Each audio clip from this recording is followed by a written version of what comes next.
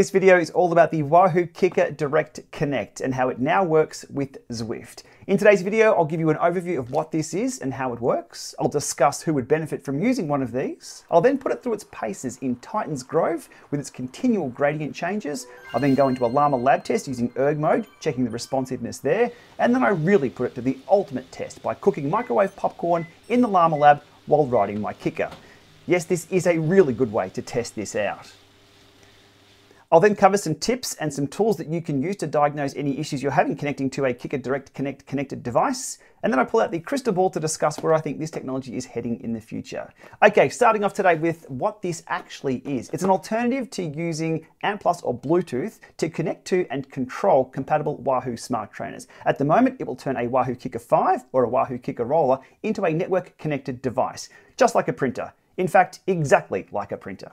Once connected, it uses multicast DNS for discoverability on the local network, the same broadcast domain. So it needs to be on the same subnet as your Zwift machine or Zwift device to work. It has zero configuration setup using DHCP to grab itself an IP address, and it listens for TCP connections on port 36866. And well, okay, nerdy stuff aside, just plug it into the same network as your Zwift machine or Zwift device and it will likely just work. You can plug it directly into a machine if you like with an Ethernet port, a Mac or a PC, which will then create a network of two hosts and again the zero configuration will mean it just works. I'll cover some more troubleshooting later on in the video. At this point in time, all Zwift platforms are supported except for Windows. That's coming soon in the update in a few days. So who needs Direct Connect and what are the benefits of using a device like this? Well, if you're in an environment where you're having Ant Plus dropouts, Bluetooth dropouts, or let's just say you're using Zwift on Windows and you're having a hell of a time with Bluetooth reliability, which is a common problem, it's going to solve those problems. If you're using Apple TV and you're coming up against the two device connection limit, it's also going to solve that problem because it doesn't use any Bluetooth connection slots to the Apple TV, which is important because there's more and more steering devices coming on board which do. I'll put a link in the video description below to further nerdy details on how this works at a packet level, but for now, let's look at this in action. The hardware configuration that I have in the Lama Lab is the Wahoo Kickr 5 with Direct Connect, plugged straight into a wireless access point, converting this hardwired Ethernet into a 5 gig Wi Fi connected device. Over to the Zwift setup, and you'll notice that I have both ANT and Bluetooth disabled on this machine, but that's not a problem because this uses Direct Connect over TCP. Hitting search, the Kickr pops up there with that little Ethernet icon. We wait for that to connect. That's happy, controllable. Again, pops up straight away, and cadence is detected automatically. Now, where things come unstuck with this plan of not having ANT Plus or Bluetooth Direct is that heart rate doesn't work over Direct Connect. So I'll have to open up the companion app, which now enables the companion app paired Bluetooth devices to show up on screen. Give it a few moments. And we have Ticker ready to go. So heart rate will be connected over Bluetooth. The others will be over Direct Connect. There's no hiding my excitement. 52 beats a minute. Let's get into 51. Okay. Uh, might need another coffee before. Fifth. Okay, let's get to the writing. And for that, it's on to Titans Grove with its undulating hills, which is a brilliant testing ground for trainer responsiveness.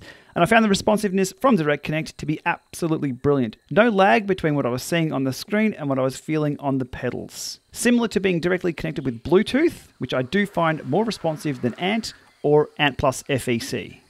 Another test I performed was the Super Tuck test, where I stop pedaling, power goes to zero, cadence goes to zero, and the avatar should drop into the Super Tuck. So I stop pedaling right now. And before the cadence even drops to zero, the avatar's in the Super Tuck. So no problems there at all.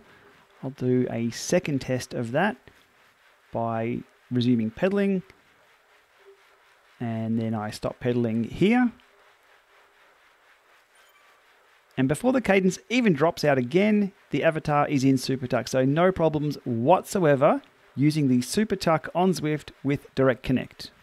And because I was very, very lucky with the timing of that test, we're just about to enter into some erg mode 20 second over and under sections. You can see on screen there in blue, that's the steady state section that I did for 250 watt ergs. Nice and smooth. The Wahoo Kickr does do an element of smoothing to the power data, even with erg mode power smoothing turned off, but I had no problems whatsoever with the Kickr hitting the correct set point for my erg over and unders and steady states. as is the case with the Kickr 5 using ANT Plus FEC or Bluetooth Direct. So that's a tick for erg mode control using Direct Connect with Zwift. So you get the picture. Everything just works. Now, let's really mess things up by cooking some popcorn in the microwave oven while riding on Zwift. Okay, so what we have on screen here is the Garmin Edge stuck to the front of the microwave showing the Kickr 5 power over Ant Plus. We have the power from Zwift showing there on screen via Direct Connect. We'll hit go on this, and as I fast forward through the popcorn cooking, you can pretty much guess what's going to happen with the Ant Plus signal. I do like it when a plan works, and that plan also involves popcorn. So you can see Ant Plus having no end of trouble there trying to work with the microwave oven blasting out, but the Direct Connect sailing straight through it all, no drops whatsoever. Now, as an added bonus, after we have a look at my beautiful popcorn here, I'm about to have for lunch. Uh, the added bonus is that, well, it's not a good bonus, but we do see the Bluetooth heart rate monitor drop out on Zwift because the microwave also killed that.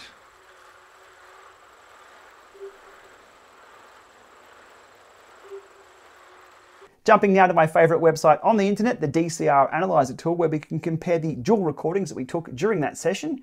We have the Kickr 5 with Direct Connect versus the Kickr 5, the same trainer, recorded with Ant Plus. You can see straight through here, the Lama Lab test, pretty much one for one. Um, looking really, really good. So same trainer, one via Direct Connect, one via Ant Plus, all is looking good. Until I turn the microwave oven on, and that's back here. And you can see one shines and one, well, fails pretty dismally there. The Ant Plus dropouts, as we were seeing on the screen there, were dropping out, dropping out, dropping out. And the Direct Connect, which was on 5 gig Wi-Fi, sails straight through and records the data perfectly. Just for entertainment's sake, I'll add all the other Ant Plus power meters I was recording in the Lama Lab whilst I was cooking the popcorn there, and you can see the connectivity was absolutely horrible. The one standout there being the purple line, Kickr Direct Connect, not using 2.4 gig wireless, working absolutely perfectly, as it should. The lesson there is don't use a microwave oven anywhere near Ant devices. Now to my troubleshooting tips and tools to use if you're having any problems connecting to Kickr Direct Connect. Firstly, if you're using Zwift on Windows, you'll need to wait for the April 2022 update for this to be compatible. So give it a few days if you're a Windows user. Next, your network needs to be reliable, be it wireless or wired. Your network connectivity needs to be rock solid for this to work. If it's not, you're going to have a bad time. Not just with Direct Connect, with everything that you try and connect to. Be that Zwift, the companion app, things will drop in and out. You know the deal get your network sorted. I use a Google Nest Wi-Fi mesh setup here in the Lama Lab and the Lama household. It has three or four access points, depending if I have the Kickr turned on or not, to extend the network coverage, and I have brilliant results using the 5 gig range. If you've ticked all those boxes and have everything set up correctly and the Kickr Direct Connect device is still not appearing on your Zwift device or machine, I highly recommend installing the Discovery app if you're on iOS or Mac OS and looking for the Wahoo Fitness TNP TCP entry. It'll likely be down the bottom of the list. If that shows up, you should be good to go. If you can't see that entry, then there's your problem. Zwift won't be able to find it either. For Windows users, just Google for Bonjour browser or something similar and install that from a reputable source to do the same thing.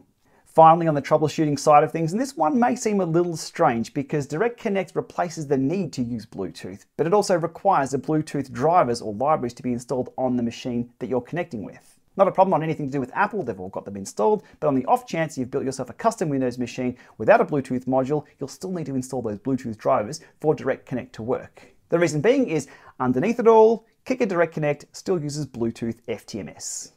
Okay, so on to the future, pulling out the crystal ball of where this is all going. Well, now all the work has been done on the software side of things to support network connected devices, smart trainers, and hopefully smart bikes soon. There's no need for it to be wired. As you saw in my video there, connecting this to a 5 gig Wi-Fi access point was rock solid, super fast, and was very resilient to a noisy network environment. At this point in time, if I wanted to connect a Kickr 5 directly to this Mac in front of me, I'd need the Kickr Direct Connect module. I'd need an Ethernet dongle for this machine. I'd also need an Ethernet cable for it to all work. Now, this is not the future that I wanted to live in. Switching smart trainers to built-in 5 gig Wi-Fi would get rid of all of this peripheral problem. Wired Ethernet may have its place in, say, special use cases like esports or environments where any wireless connectivity just isn't an option. So maybe having dual Ethernet direct and Wi-Fi on smart trainers themselves is the future. And that's what I would really, really like to see. All right, with that, that's a wrap. Thanks for watching this one. As always, if you like this video, give it a thumbs up, hit subscribe to support this channel, and we'll see you soon.